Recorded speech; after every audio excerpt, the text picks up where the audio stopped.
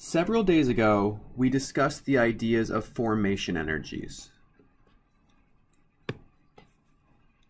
Several videos ago, we discussed the ideas of formation energies. And these had the symbol of delta H naught F, all right, so standard enthalpy of formation, and delta G naught F, right? And we learned that if you have a chemical reaction, let's say we have hydrochloric acid decomposing to make H2 and Cl2, right? You can go through and you can look up a formation enthalpy for each reactant and product. So you can look up the formation enthalpy of hydrochloric acid, um, I'm going to make up a number here. Let's say in a table of data, you find it to be negative 10 kilojoules per mole. Okay, you can also look up the formation enthalpy of H2 and Cl2. However, in this case, these values are both zero because they're already in their most stable form. And from these enthalpies of formation that come from uh, tables of data, we can figure out the enthalpy of this reaction. So the enthalpy of the reaction is equal to the total products, so 0 plus 0, minus the total reactants, so negative 10 kilojoules per mole. So we're able to calculate the enthalpy, the enthalpy of the reaction, which is 10 kilojoules per mole.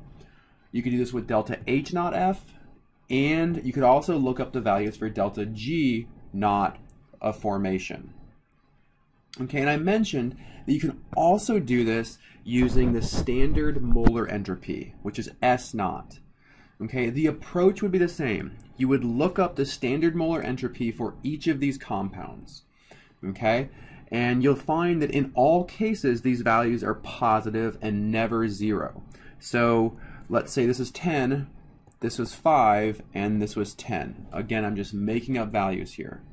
Okay, you can calculate the entropy of this reaction by adding up products. So we have 5 plus 10, subtracting the reactants. Okay, and in this case, we're going to have 15 minus 10, so it's going to be 5, and the unit will be joules per mole Kelvin. Okay, so we are able to calculate the enthalpy, entropy, and free energy of any reaction using this approach. Um, and we really spent a good amount of time discussing what these energies of formation are. But we didn't really spend much time or any time at all discussing what a standard molar entropy is. Okay, so the idea here is that every compound, no matter what, has entropy. Okay, and that's because entropy is a form of energy, right? It has the units of joules per mole Kelvin.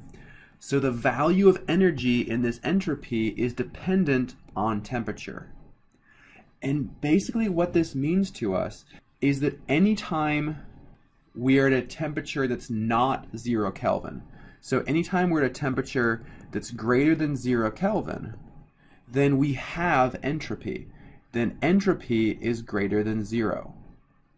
Okay? It's not possible to ever get to a temperature that's zero Kelvin or below.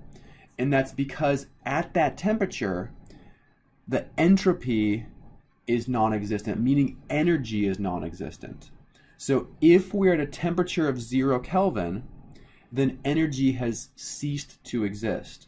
We don't have energy anymore, and that's not possible.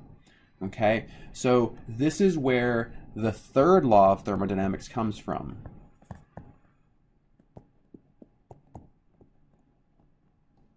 Okay, the third law tells us that the temperature can never be equal to zero Kelvin. The temperature must be greater than zero Kelvin.